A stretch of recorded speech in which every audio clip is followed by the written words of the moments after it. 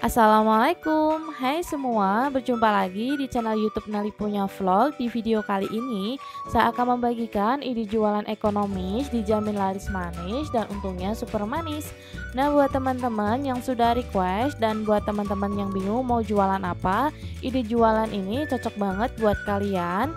Tapi sebelum kita ke bahan-bahannya, jangan lupa subscribe, like, komen channel YouTube Nali Punya Vlog dan tekan loncengnya juga agar kamu tidak ketinggalan video terbaru dari kami. Terima kasih. Nah, di sini saya siapkan satu buah wadah dan tepung terigu sebanyak 200 gram. Di sini saya beli yang curah aja ya teman-teman, lebih murah. Dan ada tepung tapioka atau tepung kanji sebanyak 100 gram. 2 siung bawang putih yang sudah saya cincang halus lalu saya goreng garing seperti ini lalu saya gerus dengan halus ya teman-teman. Saya goreng supaya lebih sedap aja teman-teman dan juga enak. Dan di sini saya tambahkan lada bubuk atau merica bubuk secukupnya dan ada daun bawang secukupnya. Penyedap rasa di sini saya pakai rasa sapi setengah saset dan sedikit garam dan juga mecin supaya lebih enak dan juga gurih. Kita aduk sampai benar-benar tercampur rata.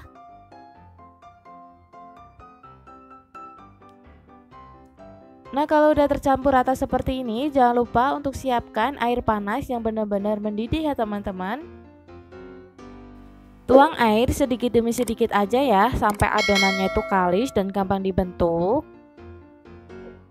Hati-hati ini airnya cukup panas banget karena baru matang dan juga mendidih banget tadi. Kenapa harus pakai air mendidih? Supaya nanti hasilnya empuk dan juga gambar dibentuk gitu teman-teman. Nah kalau sekiranya udah basah semua tepungnya. Kita lanjut ulenin pakai tangan, tapi di sini saya pakai sarung tangan. Ulenin pelan-pelan aja karena masih panas. Nah, teksturnya kalisnya tuh seperti ini.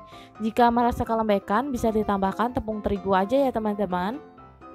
Nah, kalau udah kita ambil secukupnya adonan, kita akan bentuk bulat-bulat.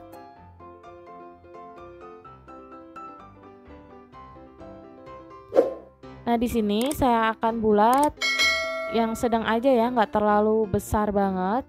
Agak kecilan aja segini ya, teman-teman. Nah, segini. Ini udah cukup dan juga menurut saya agak besar ya. Kalau orang jual itu agak kecil lagi teman-teman karena mereka jualannya tuh agak kecilan gitu dan bisa dijual 1000 itu dapat tiga teman-teman. Nah, kita akan lakukan ke semuanya sampai semua selesai.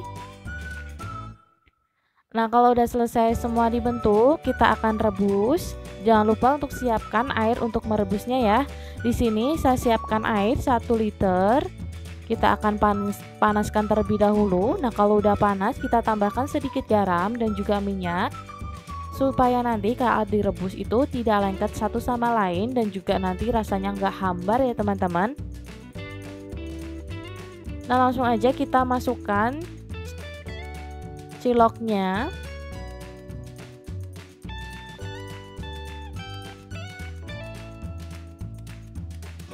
Nah kita akan tunggu sampai mendidih seperti ini.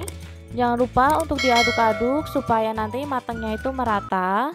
Kita akan tunggu 2 atau 3 menit sampai benar-benar matang sampai luar dalam ya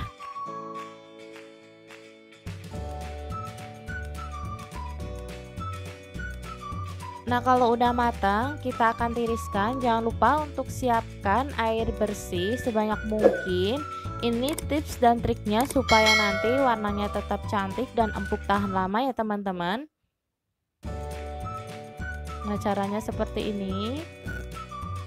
Ini bikinnya super simple, gampang dan pastinya enak banget ya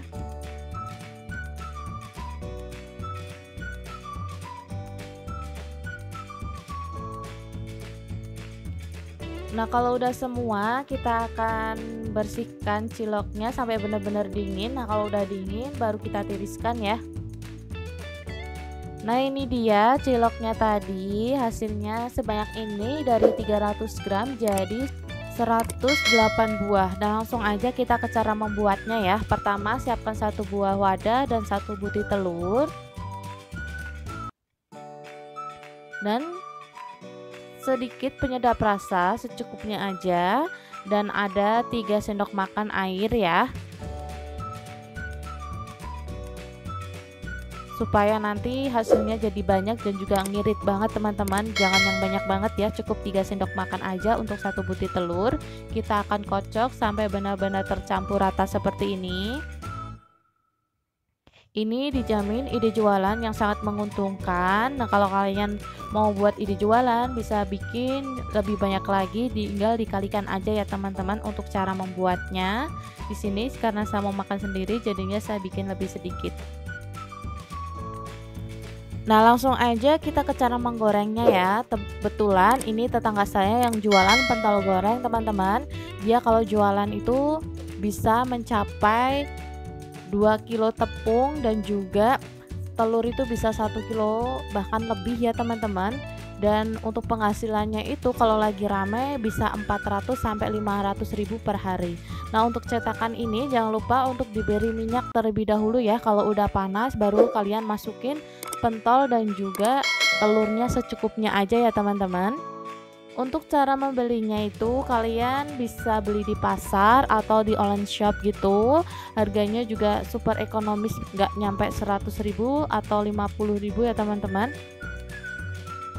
Kalian bisa beli di pasar ya. Cetakan untuk telur dan ukuran yang agak kecil gitu ya teman-teman. Nah kalau udah matang jangan lupa untuk dibalik-balik ya Jangan lupa untuk share video ini ke teman-teman sosial media kalian supaya saya lebih semangat lagi untuk upload video yang bermanfaat lainnya. Nah, bikinnya cukup simple dan juga praktis banget teman-teman. Nah, buat teman-teman yang mau jualan keliling atau di depan rumah, di depan SD, di pinggir jalan, kalian bisa jualan ini atau mau jualan online juga bisa ya teman-teman.